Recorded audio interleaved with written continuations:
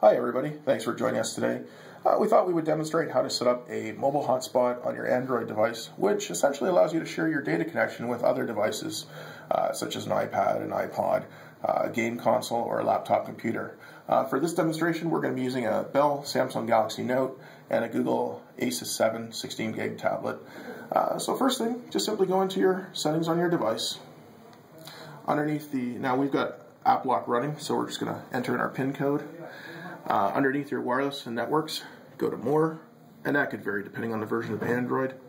You're looking for tethering and portable hotspot.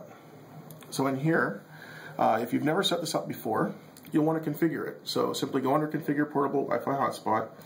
You'll name your network, you'll set up your security, and you'll set up a password. Uh, depending on the complexity, you you know it'll be easier for some people if you make it short or instead of long. Um, capitals, numbers, whatever you feel comfortable with. Hit save and simply check off portable Wi-Fi hotspot, which enables it. Uh, your notification bar on your Android unit will let you know that it's set up.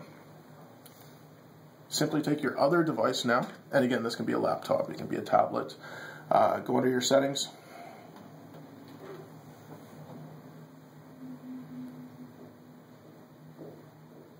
There we go. Make sure Wi-Fi is on go into your Wi-Fi, you'll see your network. In this case, we've called ours Baka mobile. We'll enter in the passcode.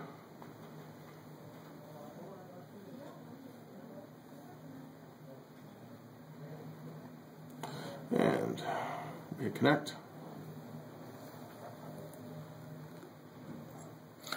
And you can see on the device, it's enabling the IP address, basically connecting to the network, and we're connected. And that's how you set up a portable hotspot. Great way to surf the web, get emails, etc.